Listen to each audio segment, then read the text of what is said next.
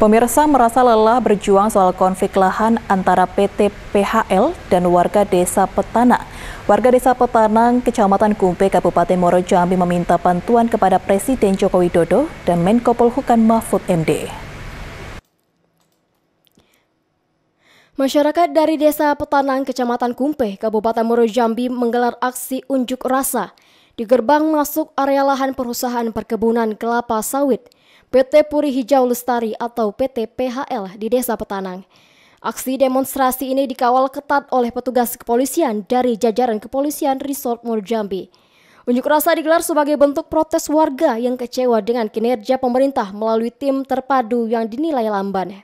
Kami adalah hak yang diberikan oleh Desa Sungai Bungur yang mana dulu kami Desa Petanang ini menyatu dengan Desa Sungai Bungur, Pak. Kemudian kami ada pemecahan desa terjadilah pembagian plasma untuk Desa Bungur sebesar 1.500 hektar. Kemudian dari Desa Sungai Bungur, karena kami ini pecahan dari Desa Sungai Bungur, kami diberi Kekecewaan warga bukan tanpa alasan, mengingat mereka telah 10 tahun lamanya berjuang untuk mendapatkan apa yang menjadi haknya.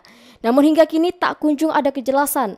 Dalam aksinya, ratusan warga desa Petanang menuntut lahan seluas 300 hektar dari 20% luasan lahan HGU PT PHL agar segera diberikan kepada mereka. Warga yang mengaku lelah berjuang berharap bantuan dari Presiden Jokowi dan Menko Polhukam Mahfud MD.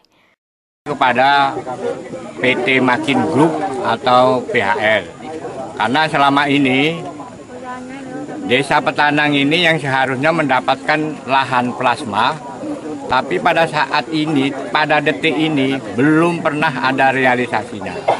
Dan kami sudah difasilitasi oleh tim DU, tapi tim DU-nya pun juga sampai sekarang mati suri, Pak. Tidak pernah ada komunikasinya dengan kami. Kumpe ini, Pak, mendapat bagian plasma, Pak.